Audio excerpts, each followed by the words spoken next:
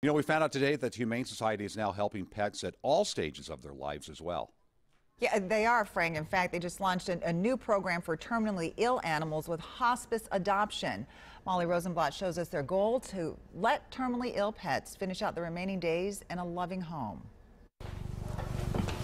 Among the tens of thousands of animals taken in every year, some of them turn out not needing a new home for very long. During part of their normal kind of veterinary exam, we discover that an, an animal, while appearing usually appearing healthy is actually at the end of their life.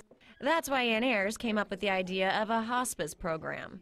She says it takes a special kind of person to take in a pet they'll likely fall in love with near the end of its life. It's emotionally challenging to have that end of life decision, but it's very meaningful as well to kind of be able to be there at the end of an animal's life and to take that on. Ayers says while a hospice pet may require more medical care and a quiet household, the most important need is just love for their remaining days. 10 year old Tiggs is just one of their hospice pets currently up for adoption after discovering he has kidney failure. Tiggs is very sweet and he's looking for a loving home to spend the rest of his life. The program has already been surprisingly well received. Stephanie Means came into the Humane Society last January to look at a dog, but before she got to it, she saw Princess first. So I read her little synopsis on the front, and you know, it said, My name is Princess, I'm shy, I'm affectionate, and I'm part of the hospice program. And of course, that caught my eye right away. Princess had cancer, and with a soft spot in her heart, Stephanie brought her home and into her family. Sadly, Princess only made it six weeks, but Stephanie has no regrets. And of course, I'm guilty of waking up at like five in the morning to make her scrambled eggs when she would no longer eat her dog food.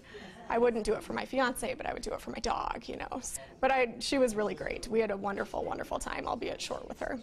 Molly Rosenblatt, WCCO 4 News. So far, 19 hospice pets, including terminally ill dogs, cats, even guinea pigs, have been adopted. If you'd like to help, volunteers, including Frank, are ready to take your call. The number is 800 542 WCCO. Your donation will be matched dollar for dollar up to $15,000 thanks to Phil and Arlene Gradnick and an anonymous donor. Just $50 provides full vaccinations for two cats in order to keep them healthy and prepare them for adoption at the Animal Humane Society.